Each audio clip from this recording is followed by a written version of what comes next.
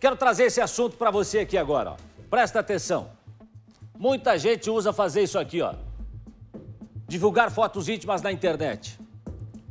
Divulgar imagens íntimas sem consentimento é crime, viu, minha gente?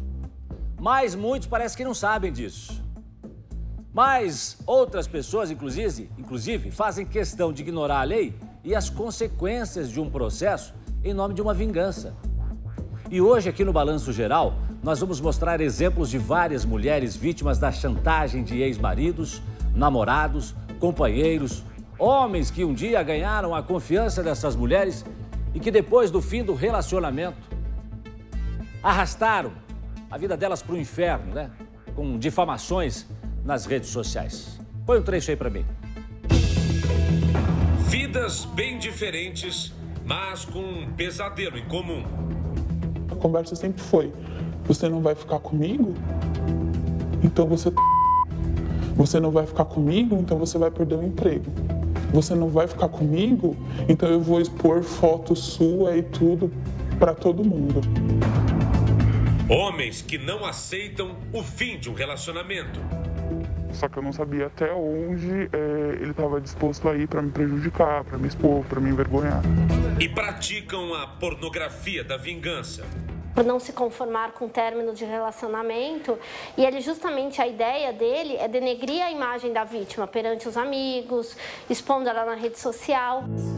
Essa moça conheceu o ex-namorado numa viagem de carro por aplicativo. Ele era um motorista me interessei por ele, eu tinha me separado há pouquíssimo tempo. Ele era muito gentil, muito gentil mesmo, muito doce, me falou da família inteira dele no primeiro dia. Conto de fadas que não durou muito tempo. Cada situação era um motivo para ele ter um ciúme novo. Então, assim, ele investigava a minha vida desde que eu tinha 12 anos de idade e tinha ciúme do que eu fiz com 12 anos de idade. Uma obsessão perigosa ele nunca aceitou um não com relação a nada, nem a mim, nem a nada que eu tenha vivenciado junto com ele.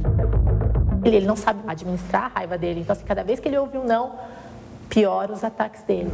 Ela decidiu pelo fim do namoro, mas ele não aceitou. Nesse momento ele mandou, ele enviou fotos minhas nua para o meu ex-marido pelo Instagram fotos as quais eu nunca permiti que ele tirasse. Desde dezembro de 2019 ele vem me ameaçando a divulgar essas fotos, a me fazer perder o emprego, a me expor em praça pública. O rapaz abriu uma conta no Instagram com fotos dela, de lingerie. Eu estava com os meus filhos sozinho em casa, eu, eu não conseguia respirar. Criou perfis falsos Desde que tudo isso começou, já tenho 70 perfis fakes. É, tanto para me importunar, para me xingar, quanto para falar com outras pessoas. Teve um dia que ele ligou 24 horas para ela. Foram mais de 200 ligações. A moça fez um boletim de ocorrência e conseguiu uma medida protetiva, mas nada disso adiantou. Chega um ponto que ele já não vai ter mais onde prejudicar. Aí o meu medo é de passar para a parte física. Essa semana ele mandou mensagem dizendo que ele queria arrebentar minha cara, me bater. Edson Freitas da Silva Eugênio, o agressor, ainda está foragido. Essa noite minha filha teve um pesadelo por conta dele. A minha filha acordou, era mais ou menos 4 horas da manhã. Mamãe, mamãe, eu sonhei com aquele moço que te persegue do carro preto. Na maioria dos casos, as histórias se repetem. O homem parece perfeito a princípio, mas logo começam as crises de ciúmes, as perseguições, as ameaças. O namoro termina, o sofrimento da mulher não. Muitas acuadas se calam. Pesquisas recentes indicam que 70% dos feminicídios acontecem com mulheres que sequer fizeram um registro de ocorrência na polícia por agressão. E esse número chama bastante atenção, doutora Márcia, né? 70% das mulheres que foram vítimas de, de feminicídio não tinham feito denúncias à polícia. E essas agressões, elas nunca vêm sozinhas. Elas sempre vêm acompanhadas, né? Uma primeira vez, um, uma voz mais alta, um tom mais alto de voz, depois um empurrão e tal. Enfim, a gente já falou muito sobre isso aqui também. Doutora Márcia Marcontes, agora olha só. Que situação é essa, doutora Márcia? A gente já mostrou aqui situação de homens, agora situação de mulheres também. Quer dizer, o homem se sente, ele se sente no direito, né? Ele acha que ele é o dono da mulher. Aí quando ele percebe que que está perdendo o jogo, ele começa a agir dessa maneira, mesmo sabendo que é crime, doutora, doutora Márcia. Muitos deles, né? É, mesmo sabendo que é crime, já mesmo sabendo que é, essa conduta não vai levar é, ao retorno de um relacionamento, porque a, a tendência é você se afastar ainda mais, mas, de fato, infelizmente, a gente ainda tem muita, muita subnotificação. Ou seja, quando você encontra com uma mulher está fazendo boletim de ocorrência, você já, ela já vem com o histórico de outras situações. E isso é preocupante, porque nós já estamos, nesse momento, numa situação mais grave. Agora, nessa situação em que as mulheres estão sendo expostas à sua vida pessoal, à sua intimidade, à sua imagem, que são tão caras para nós, né? é uma vingança tão baixa ela tem que sim ser denunciada, não ceder a essa, essa chantagem, mas sim denunciar, e porque temos os dois reflexos, tanto o criminal quanto também o reparo pelo dano moral, né? o reparo financeiro para o que tem ocorrido depois dessa exposição. Pois é, doutora Márcia, inclusive nós estamos perguntando aqui, olha só, a gente está perguntando para você hoje aqui, é, é, o nosso aplicativo, Você na RIC. Você pode apontar aí o seu celular para o QR Code, participar com a gente aqui e responder aqui, ó. Você, é, se, se, você quiser, pode também digitar lá, quack, quack.com.br barra RIC. E a pergunta que a gente está fazendo hoje, coloca no ar para mim a pergunta agora. A pergunta é essa aqui, ó. Você teria coragem de expor a intimidade do seu ex ou da sua ex na internet como forma até mesmo de, de vingança? Você teria coragem? Você teria coragem de expor a intimidade? Participe comigo, você na RIC, é o nosso aplicativo. Você pode é, mandar também, pode acessar aí quack.com.br barra RIC, quack.com.br barra RIC. Ou então apontar para o QR Code, conforme eu mostrei para você aqui no começo, está aqui para você participar.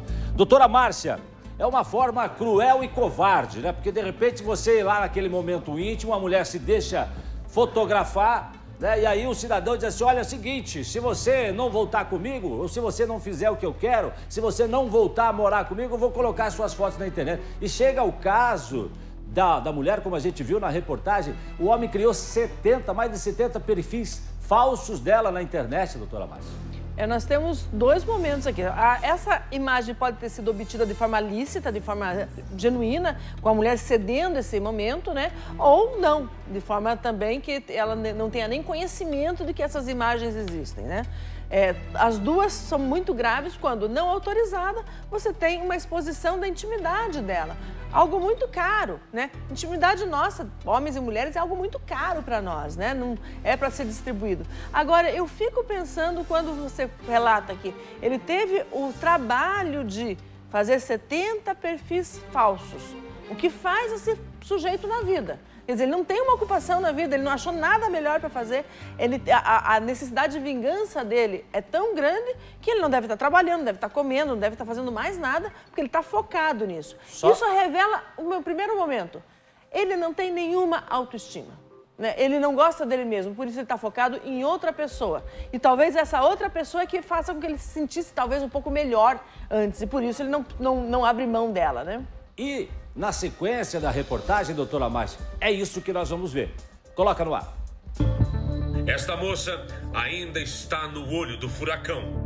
E eu descobri que eu comecei a ser exposta por ele em, em vários contextos. Tipo assim, ah, olha o que a, a, minha namorada fez, olha com que, como que ela conversava com determinada pessoa antes da gente ficar, olha o tipo de, de vida que ela levava. Ela vivia um relacionamento abusivo tinha muitos ciúmes, ele me, meio que me proibia de conversar com, com amigos meus, que eram homens, até com algumas mulheres também. O fim do namoro marcou o início das ameaças. Começou a ameaçar, me expor de várias formas na internet, com fotos, com, com conteúdo mais íntimo. E ele falou que se eu não voltasse, ele faria esse tipo de exposição. Uma chantagem que já dura mais de dois anos. Abalou psicológico, já precisei mudar de endereço, já precisei mudar muitas coisas na minha rotina, muitos hábitos, por conta da perseguição que eu sofro. O combate a este tipo de violência ainda está engatinhando no Brasil. O compartilhamento de fotos e vídeos íntimos sem a autorização da pessoa que aparece nas imagens só passou a ser crime deste jeito, tipificado no Código Penal em 2018. Sabendo disso, muitas vítimas passaram a procurar a polícia. A busca foi tanta que o número de denúncias em 2020, que nem acabou, já superou e muito todas as denúncias registradas em 2019. O crime é divulgar. Porque às vezes você consente a produção daquele vídeo no momento íntimo, né, mas você não consente a divulgação. E também é crime compartilhar. Se você recebe um vídeo desse, você tem que deletar. Você não pode divulgar, sob pena de você também responder por esse crime. A ocorrência deve ser registrada em uma delegacia online ou em uma delegacia física da mulher. Algumas mulheres se culpam tanto que esquecem que elas são as vítimas. A maioria dos homens que cometem o abuso emocional não possuem doença mental nenhuma, mas geralmente um padrão de baixa estima em que frustrados, incapacitados e não reconhecidos como gostariam em outros relacionamentos, em outras áreas da vida, como por exemplo, trabalho, vizinhança, liderança, acabam usando as mulheres para poderem executarem essa sua sensação de poder. Fica o alerta. Que a vítima observe qual que é o perfil da pessoa com quem ela se relaciona. É uma pessoa que tem um perfil vingativo? Como que ele se apresenta perante os outros relacionamentos dele?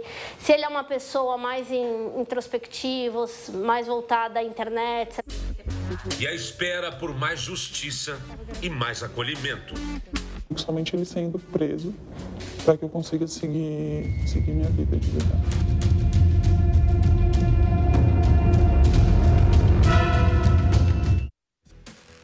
Doutora Márcia, veja só, a reportagem confirmou exatamente o que a senhora havia dito. De repente, o homem, ele está com a autoestima embaixo, né? Está com a estima embaixo. A autoestima está... Ele está no trabalho, tendo algum problema, é, em outras situações. E aí, ele quer depositar esse poder todo em cima da mulher, depois, né, da chantagem. Importante, o que disse também essa segunda parte da reportagem, prestar muito atenção no companheiro. Mas se você lembrar, lá na primeira reportagem que nós trouxemos, a mulher que conheceu o motorista de aplicativo disse que o cara era um cara muito bacana, era um gentleman, né? cara elegante, fino. Mas aí depois as coisas começam a se complicar. E como, doutora Márcia, identificar esse tipo de homem? É, nós temos um namoro, aquele primeiro momento em que é, existe um, uma, uma certa manipulação até das situações. Isso quase todos os namoros podem acontecer. Né? A pessoa não conhece a pessoa anteriormente, então a partir, a partir dali aquela pessoa é esse cavalheiro, essa pessoa. Mas ainda assim, no meio das, das informações é possível perceber. Quando você ah, mas você vai mesmo sair essa noite que, com a tua amiga, acho melhor não? Que ele começa com uns arezinhos de ciúme, com a ideia de passar aquela ideia de que está protegendo a mulher. Não está protegendo, ele está se apossando dela. Está tá tomando posse do tempo dela, das decisões dela e vai caminhando.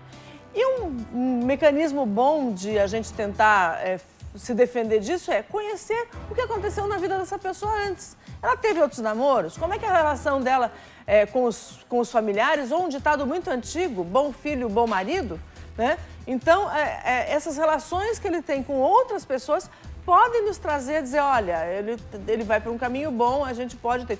Mas observar os sinais todos os dias, porque eles acontecem e acontecem devagarinho, é, não, não começam pelo fim, começam devagarinho.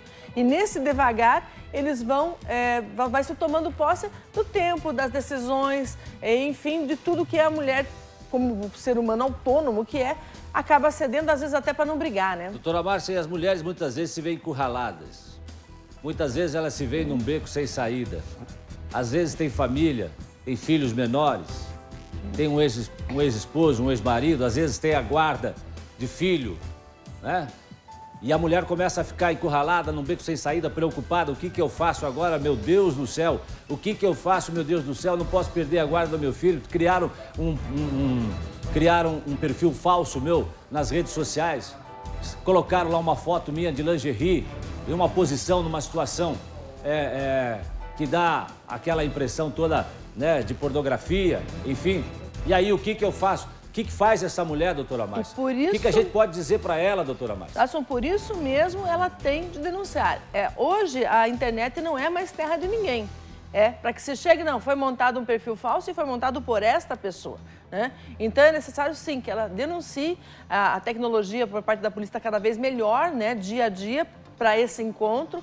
E nós temos uma preocupação sim, que essas mulheres não se, não se permaneçam com esse tipo de exposição. Né? Por quê? Não tem uma finalidade essa, essa exposição para esse autor, porque não tem um para quê, a não ser perturbar a vida dessa mulher, infernizar a vida dessa mulher. Então é necessário que sim, que ela procure a polícia, que ela denuncie, que a partir do momento ele sendo identificado, ela também tem direito a uma ação civil contra ele, ou seja, que ela seja indenizada pelos prejuízos que teve, sejam eles morais ou financeiros, propriamente dito. Então que ela busque sim se acercar da, da denúncia por parte dela. E aí? A pessoa que fez essas ameaças, que fez essa chantagem, que criou esse perfil falso, pode ser preso, doutora Márcia? Sim, quando nós estamos falando da exposição à imagem, na, na, nesse, nesse, nessa condição, a pena é de 2 a 5 anos. Mas pode ser que, além deste crime, a gente é, plote outros crimes acontecendo. Uma ameaça específica em algum momento, uma chantagem em algum outro, seja uma extorsão. Então, pode ser que, além desse crime, nós tenhamos alguns outros a serem acarretados. Então, sim, ele pode ser preso. Obrigado, doutora Márcia.